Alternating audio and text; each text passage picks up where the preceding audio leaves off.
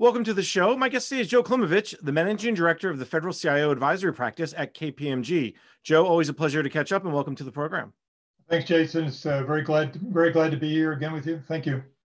Today, we're going to talk about the shifting priorities for agency chief information officers, specifically amid the coronavirus pandemic. Agency CIOs have uh, realized the importance not just of IT modernization, but all those pieces that makes those efforts successful, such as cloud and hybrid cloud, and application and rationalization, and the use of technology business management framework to better understand the cost structures of IT. Now, my guest today, Joe Klimavicz, has been the CIO. You've been in that position. You're at the Justice Department for six years. You're the vice chairman of the CIO Council for two years. You got to see firsthand how these priorities shifted and then how to adjust to those ever shifting priorities and, of course, be successful. So let's just start with the beginning, Joe, because I think this is the most important question. What are those strategic imperatives CIOs are focusing on today, given the need for greater resilience, improved uh, and, increased remote work, and, and the ever changing mission requirements? Thanks, uh, Jason. Um, when you look at the big picture, uh, digital technology today is ubiquitous. Uh, digital collaboration is uh, woven into everyday life. Uh, artificial intelligence, machine learning, they're available at your fingertips and they're fueled by just staggering volumes of data uh, that are generated by billions of interconnected uh, devices. Uh, most of those are mobile. But when you look at the pandemic, it has created uncertainties in service delivery, supply chain, and employee engagement.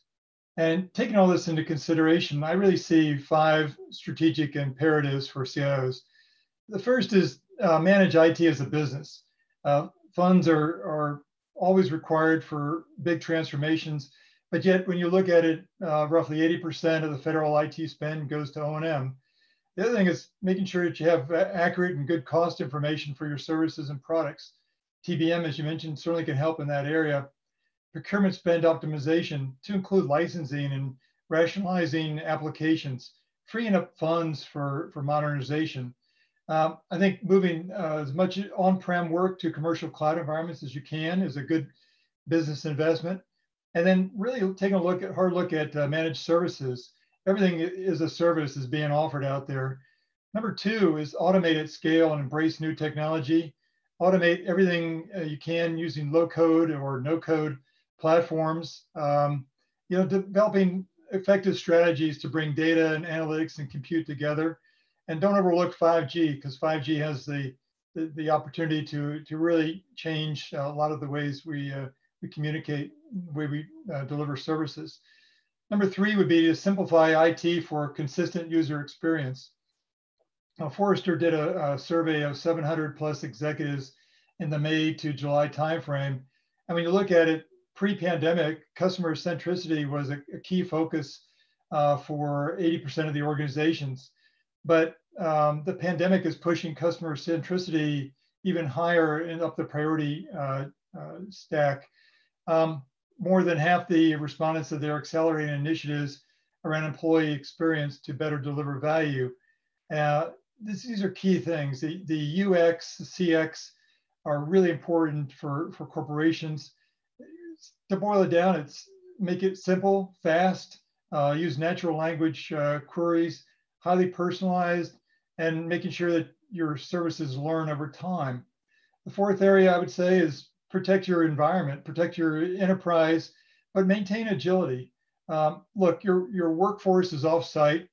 Your IT should be offsite, should be in a cloud environment. And that creates uh, challenges for cybersecurity, but I think cybersecurity must need to change. No longer do we have the traditional network uh, defense. Um, and so that network, a traditional network defense doesn't allow you to take advantage of the agility that you see in cloud. Really need to, to evolve our, our security architecture to zero trust.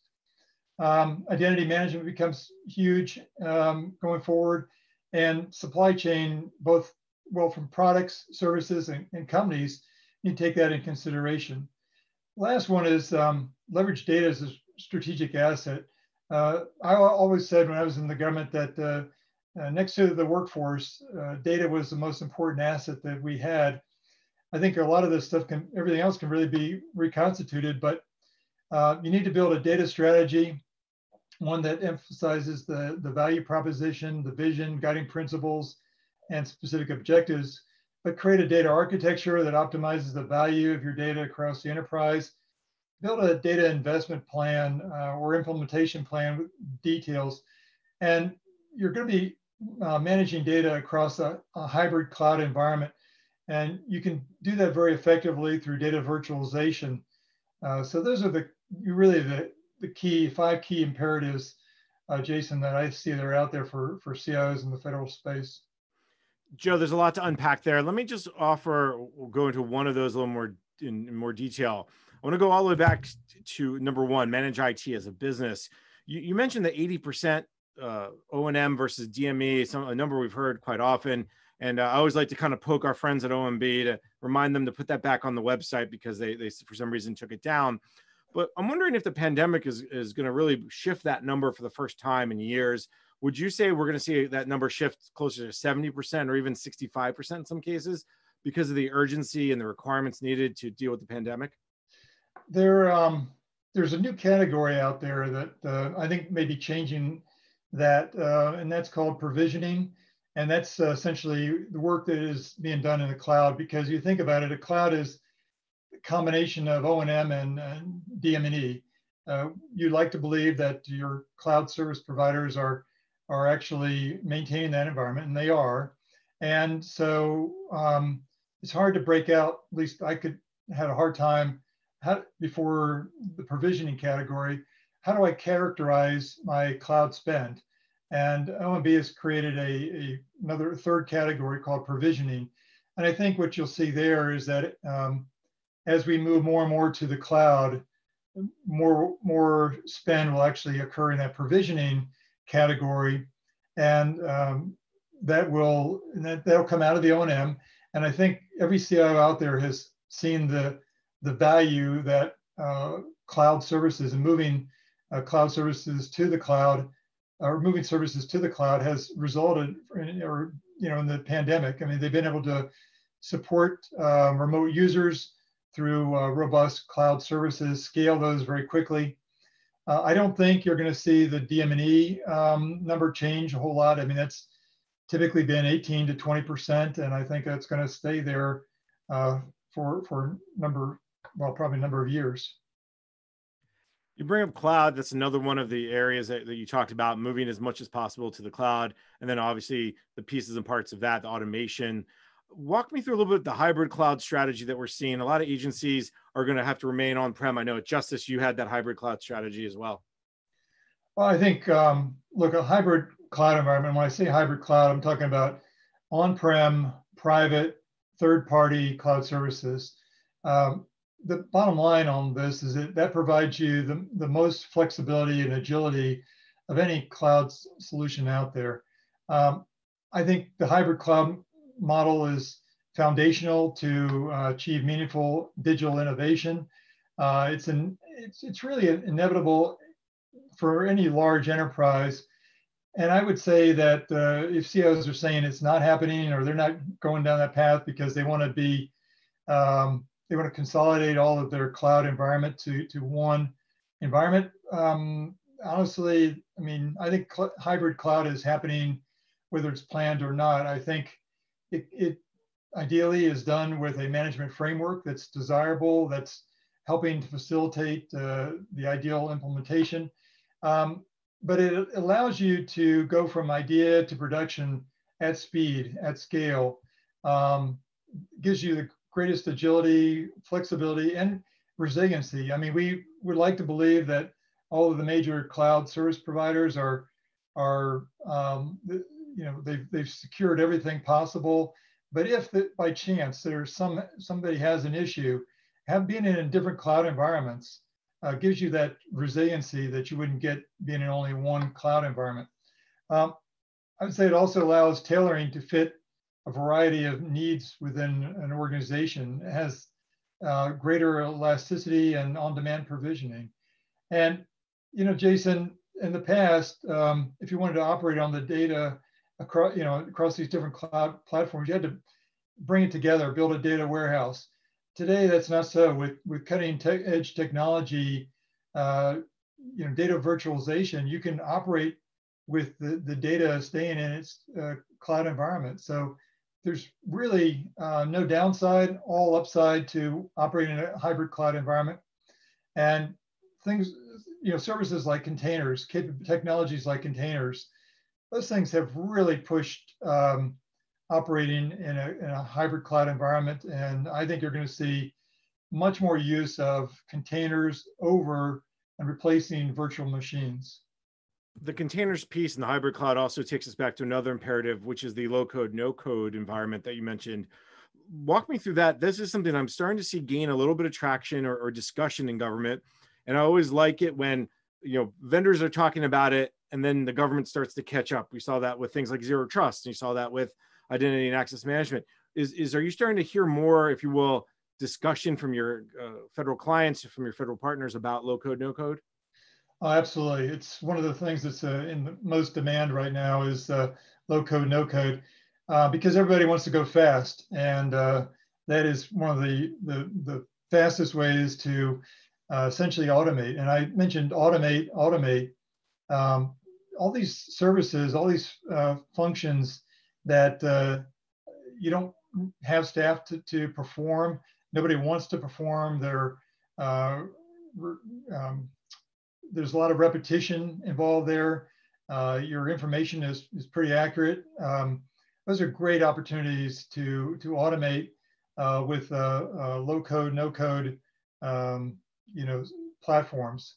Uh, just to circle back a little bit, um, you know, virtual machines, they're still really popular and there's, there's obviously a place for those, but they operate with their own operating system, middleware applications. Essentially, they are their own computers.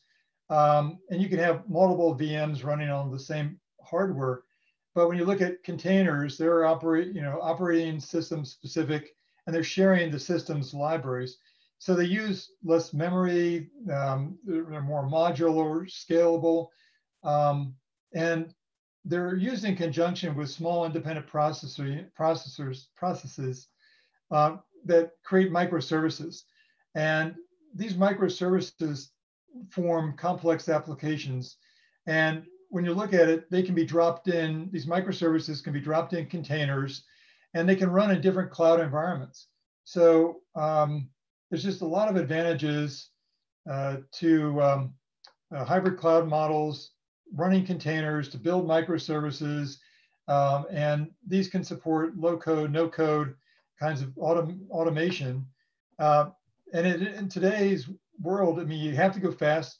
Um, everybody's expecting that. And uh, the technology is out there to allow you to go incredibly fast. I think that's one of the things we saw with the pandemic specifically is the ability to go fast, the need to go fast, that sense of urgency that, you know, uh, when I've talked to others, you really don't see. And, and do you think that's what's driving a lot, a lot of these new imperatives? This hey, we did this pretty well. We were very successful during the pandemic. How can we?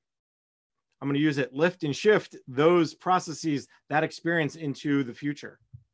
Well, when you look at it, there's a lot of different uh, uh, ways to to transform, right? I mean, um, the I did a lot when I was at Justice. I did a lot of um, lifting and shifting. I closed 100 data centers and and saved a lot of money. But I think digital um, leaders are, are certainly investing heavily in, in, the cloud, but lift and shift today is not, not enough. Um, when you think about the opportunities there, there's rehosting or lifting and shifting model.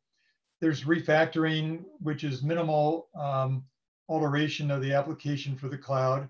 There's re-architecting, and that's taking these monolithic applications that maybe have been around for 20 or 30 years and re-architecting them according to, you know, using the microservices we were just talking about and containerizing them. Or you can uh, rebuild, uh, essentially write new code. And you would do this as a cloud native application. Um, you know, and then, then replace, you could replace with a more nimble cloud-based solution. Uh, clearly, um, lifting and shifting gets you, say, can save you a lot of money but it doesn't give you the performance increase that you really need. So my take would be re-architecting at the very least or re- rebuilding. I think a lot of agencies are starting to see and, and move in that direction. Joe, let's take a quick break. When we come back, we can continue our conversation. You're listening to the discussion, Modern Government, How COVID 19 Changed the Course of Digital Transformation, sponsored by KPMG on Federal News Network.